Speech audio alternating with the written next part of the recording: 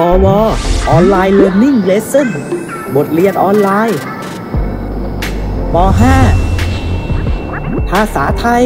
หลักภาษาและการใช้ภาษาไทย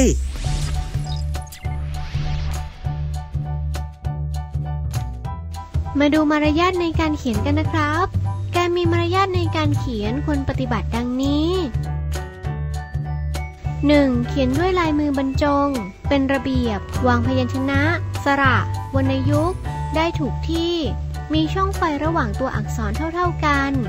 รู้จักเว้นวรรคตอนเพื่อให้สะดวกในการอ่าน และเข้าใจความหมายง่ายและถูกต้อง การย่อหน้าอยู่ในแนวเดียวกัน 2. รักษาความสะอาด หากเขียนผิดต้องลบให้เรียบร้อย ไม่ขีดค่าข้อความ 3. เขียนคำ วลี ประโยค และข้อความ รวมทั้งใช้อักษรย่อ เครื่องหมายวรรคตอนต่างๆ ให้ถูกต้อง ตามหลักเกณฑ์ทางภาษา